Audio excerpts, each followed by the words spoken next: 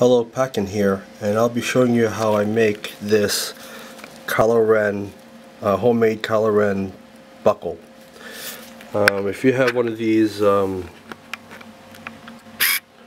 costume looking belts and you don't have that that detail what I do is that I use one of these um, insulation tape because it has this um, foamy side and it has adhesive.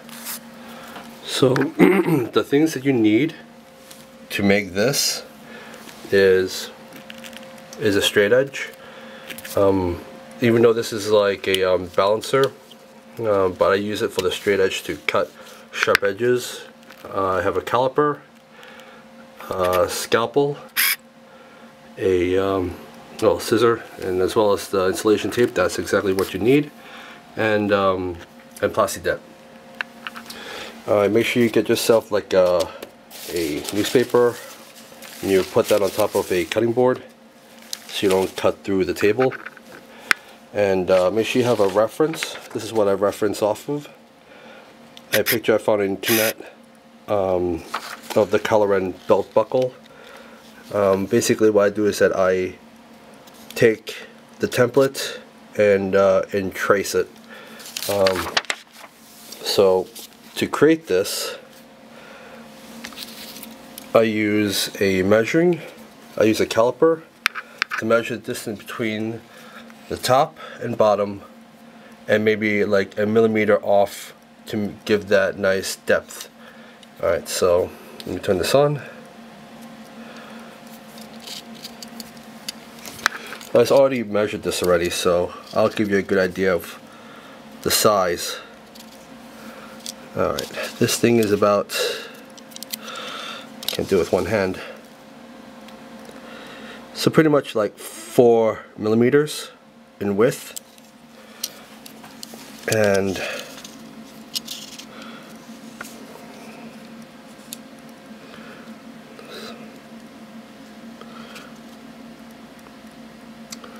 so pretty much like 83 83 uh, millimeters in height.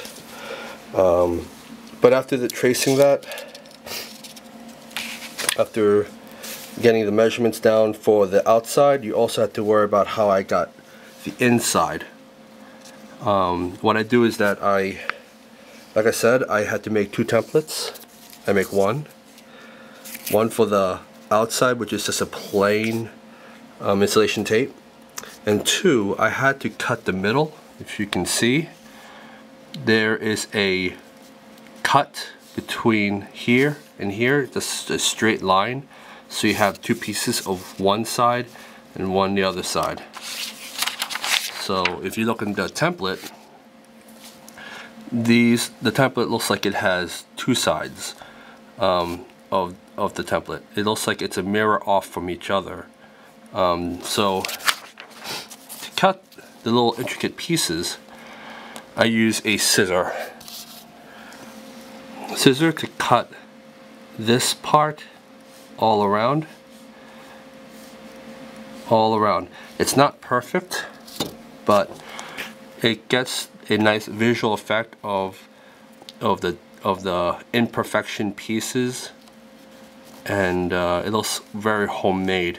Um, and it's not perfect like the way every homemade pieces would go. So what I do is that I for this part because I tried uh, using a scalpel tool and tried cutting it it leaves like this gash marks on the insulation tape. Um, so what I do is that I use this tool to mark where the pieces go so I mark it down and then use a scissor to cut it now to, to create this this part um, it takes a tricky thing to do you have to fold it up and start cutting the piece with a scissor. And that way you have a nice straight edge. Um, for these little pieces, again, I use a scissor. Same thing. You just have to take your time with it and cut little squares. So one slit here and the other slit here, and then you cut a slit there. And you get these kind of squares. I do this individually, so you don't want to put two at a time together. You just have to do one at a time. Um, that way you're able to control how much you can cut the piece in detail. Um, after you're done, you can rip off the little sticker and paste it on there. Again, you need to make sure this is a millimeter shorter than the actual size of the background. That way, that way you have a nice depth between the in layer and the out layer. And then, like I said, this is adhesive, so you can actually stick this on on the belt so you have that nice nice effect. So after that's done, you use a Plasti Dip to coat it maybe one or two times on the layer of the belt buckle. And after two layers you should get the final product like this. You don't want to put like a uh, a coating a uh, a preservative coating on top of it. Um, otherwise it cracks. Um, remember this is like a foamy material so any kind of uh, paint that you th think about using maybe car paint the material will be absorbed and if you put layers and layers of car paint on top of it you're gonna run into cracks. Um, the Plasti Dip does a great job of masking the areas where there are marks that are, that ripped um, when I was cutting it because cutting in such a small fine detail with this spongy spongy material it's very difficult. So this project takes me about like um, 15 to to 45 minutes um, after cutting out the rough, uh, after cutting the template, and then fine and then smoothing out the edges by cutting even more um, to cut it, make it make it look a little bit straight. So, anyways, I hope you enjoy this video. I hope you find this informative.